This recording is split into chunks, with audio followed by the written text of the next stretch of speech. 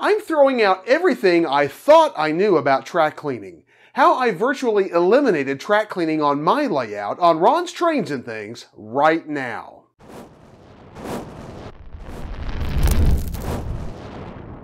Hi, I'm Ron of Ron's Trains N Things, and if you'd like to see more of model railroad tips, tools, and techniques, then be sure to subscribe down below and click that little bell icon so you can catch future videos.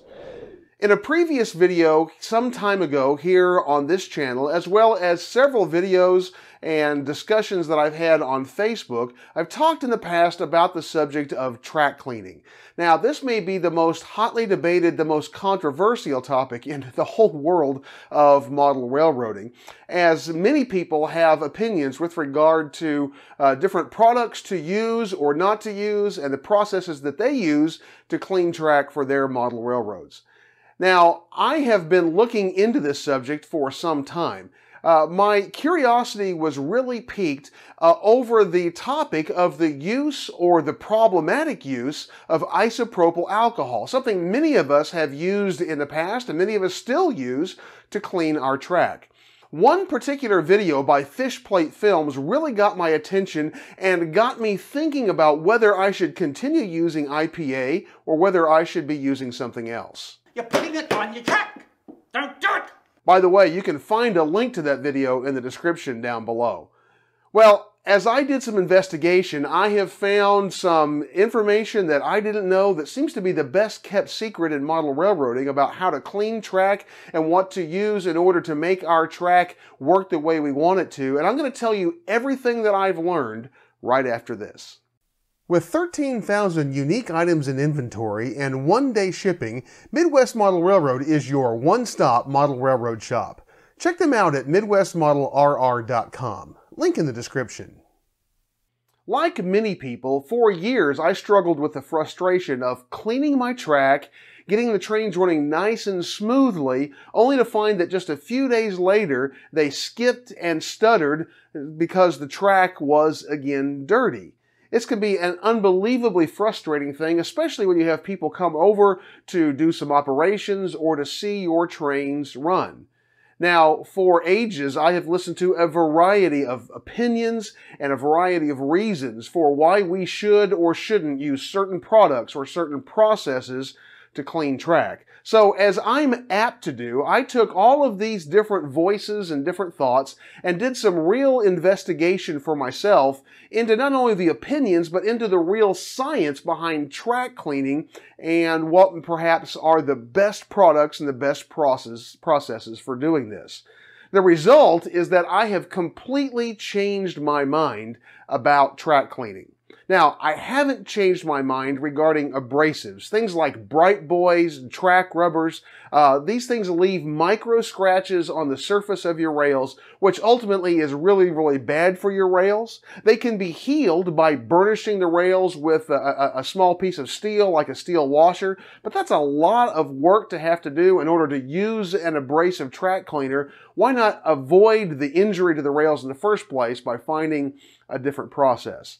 Well, I have discovered a, a, process that I have begun to use that is virtually eliminating the need for ongoing repeated cleaning on my layout. And I'm going to share, share with you exactly what I've learned. There are two key pieces of information that I found from two different sources that I've combined together into one process of track treatment that I'm finding is working very well. The first piece of information came from Joe Fugate in his column Publisher's Musings in the May 2019 online issue of Model Railroad Hobbyist. I'll uh, post a link to that article in the description down below so you can read it for yourself. In, in that article, uh, Joe talked about the frustration that we all have with the black gunk that appears on our rails and seems to be there every single time we go to clean our track. Now, many people will refer to this black gunk as, as dirt and contaminants. Uh, in fact, while there certainly may be a bit of dirt and dust uh, involved there with the track, primarily what that black gunk is, is metal oxides that are the result of oxidation of our rails. Now, this oxidation happens over time, just like any metal will oxidize when left to the, to the open air. But the real uh, culprit for uh, that causes a problem for oxidation for us is a process known as micro arcing whenever we run our trains uh, over our layout. Micro arcing is like tiny little sparks or tiny little bolts of lightning that happen as the wheels turn and come in contact with the track. And as the wheel approaches the track or as it leaves contact with the track, uh, the electricity flowing through that circuit, that contact, makes a little bit of an arc or a little bit of a spark, and, and that leaves little micro pits in the surface of our rail. Now, this isn't something that we can see or feel, but if you say the word micro pitting or micro scratches or micro abrasions to uh, the rails on our, our model railroads, uh, I think it gets all of our attention. The problem is that these micro pits and micro abrasions are great places for uh, oxidation to take place and for oxides to reside, which is part of the problem that we have with our model railroad tracks that causes them to run unreliably. So understanding the problem of oxidation and the problem of this micro pitting that happens that promotes more oxidation on our uh, railroad tracks, we have to ask ourselves the question, what is our real goal for our treatment of our tracks? We talk about track cleaning, but, but ultimately having clean track isn't our ultimate goal. We, we've never thought in the back of our mind, I hope that so and so comes over and sees my model railroad and says, my, what nice clean looking track you have. Honestly, we probably don't really care whether our track is clean. What we care about is reliable running, which is the result of good electrical contact between the wheels and the rails. Now, obviously, the reason we clean is to remove dirt, contaminants, and oxidation that can inhibit good electrical contact and cause unreliable running. But what we really want to accomplish is good conductivity. And as a result of that, we clean our track, we do things to try to reduce oxidation and to reduce micro arcing. Those should be our goals in order to produce reliable running through good electrical contact contact. Now, when we talk about cleaning products, there are some things that we need to say uh, about those cleaning products. First of all, some people will, will say negative things about certain products because they leave a residue behind on the rails. Well, that's only partially the problem that we have. Because the fact is that any product we use on our rails is going to leave some residue behind. The real question is, what are the properties of the residue that is left behind? That's the question that we need to ask. Because the residue that is left behind gets into those little micro pits and, and molecularly remains in the rails, in contact with the rails, and embedded in the rails for a long period of time. So we need to make sure that whatever we are putting on our track has properties that will promote smooth running and good electrical contact. Getting back to Joe Fugate's column, in that column he talked about the difference between polar and non-polar products that we use on our tracks. Now, polar products are products that molecularly have an electron charge. And so the, the residue that remains behind after we use these products in the micro pits and the micro abrasions on our rail, because they have an electron charge, when they are in the presence of an electrical current like that between our rails and the wheels when we run our trains, it promotes micro arcing, which promotes oxidation. That is not what we want. Now, understanding that, we need to understand what are some of the products that are highly polar that sometimes we use.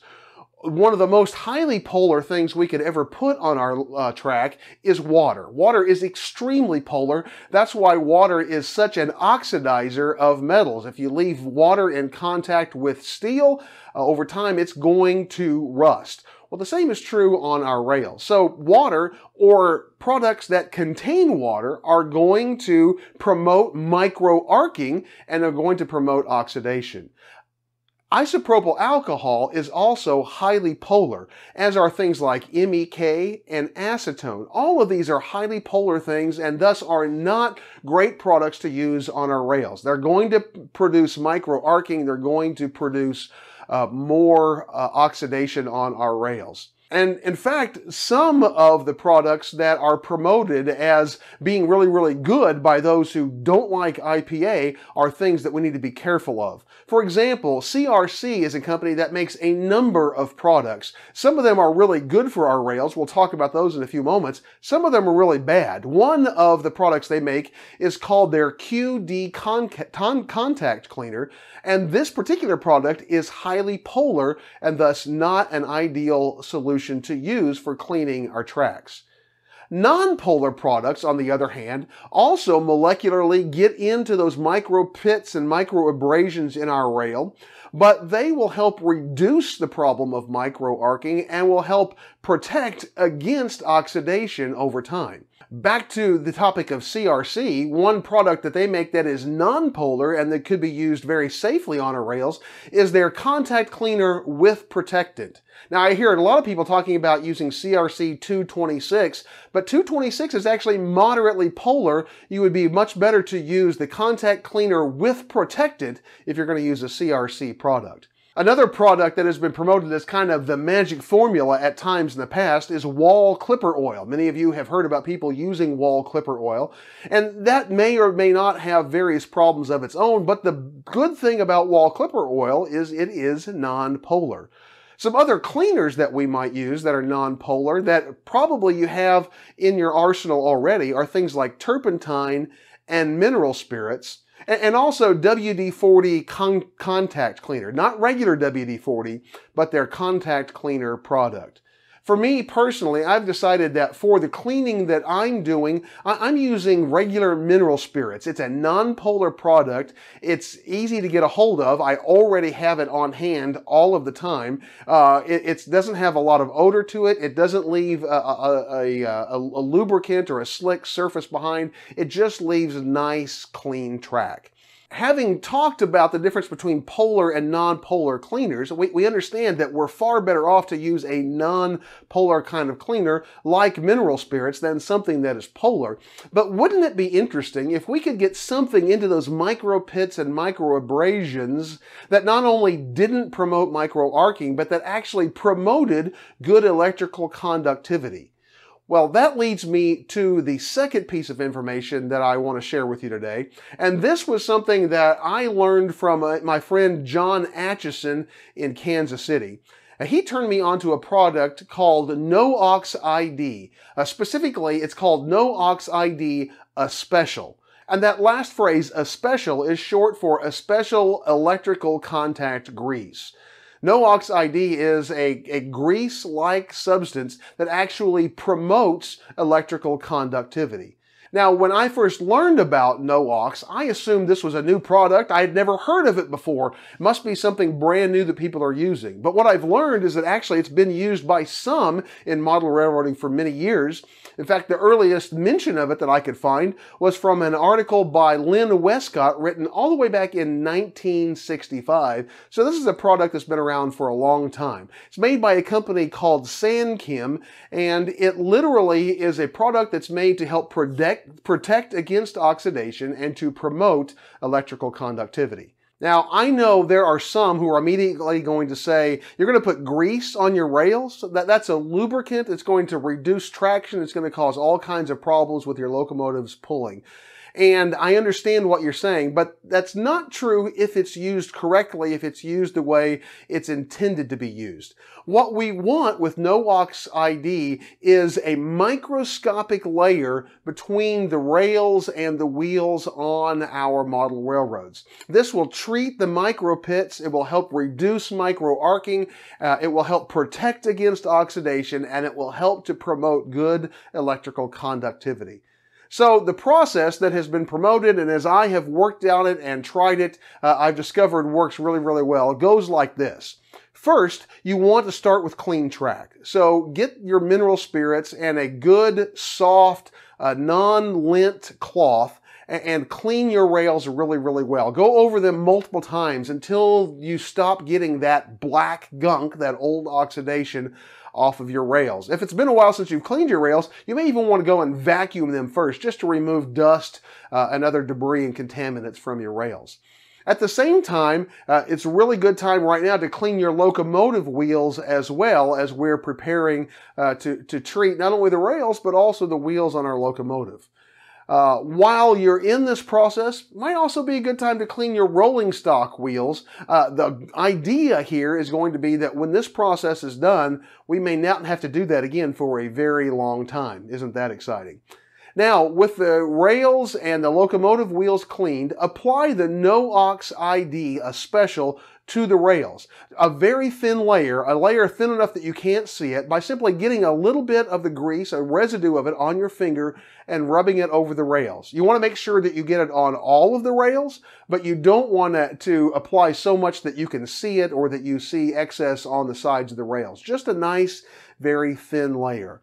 Now you want to take your locomotives and run them over all of the rails, run each one of your locomotives and run it for several minutes uh, so that the uh, wheels on your locomotive get treated from the rails as well. Once that is done, come back with a clean soft cloth and wipe down the rails to remove any excess uh, No-Ox ID. You don't want to scrub the rails here, just, just wipe them softly to remove any excess. You also may want to take some time at this point to use a microbrush and clean any excess that might be on the locomotive wheels as well. Once all this is done, just run your trains like normal. You're going to find that the trains run really, really smoothly and that this uh, will last a long time. It, the problem of, of stopping and stuttering, for me at least, did not return after a few days. In fact, it didn't return after several weeks. And I've read testimonials about model railroaders who have used this process and who have done nothing more than, uh, than a quick vacuum to remove dust on their tracks for five to seven years. Now, wouldn't it be awesome to be able to not have to clean track for five years? Now you need to understand that once you've accomplished this process, you're not going to want to go back and use cleaners on your track. If you use a cleaner, you're going to remove the No-Ox ID and then you're going to have to repeat this process of treating the track all over again. Simply wipe dust away with a soft cloth or vacuum it away should be all that you need. The goal here, again, is to leave a microscopic layer of No-Ox ID on the rail to promote good electrical con uh, conductivity. Now, one caveat here, this is probably not the process you want to use if you're running steam locomotives with traction tires. I have seen conflicting reports, but personally I don't think that this type of a product and the rubber of the traction tires are a good combination. So if that is you, then you may be wanting looking for a, a, a different process other than the No-Ox ID, although the non-polar cleaners like the mineral spirits are still a great idea. You still want to stay away from those polar solvents. Now, there's some great documentation online from Sanchem about this product, which talks about a number of its various uses, including its use in model railroading, as one of the owners and founders of this company and of this product happens to be a model railroader and has used it himself. And I'm going to link that document in the description down below as well. Now, if No-Ox is something that you want to try, and I'm going to be honest, I highly recommend it. I think you'll be very happy with it if you follow the process that I outlined. Now, I'm going to include a link to No-Ox ID, a special, as my Amazon pick of the week in the description down below if you'd like to try some out. And while you're down there, you may want to check out the other great links that are there uh, that are available to you as well. Well, if you'd like some more Model Railroad content right now, check out the links on your screen. And be sure and join me each Tuesday as I bring you even more great Model Railroad videos. And I look forward to seeing you then. 10, Lizzie?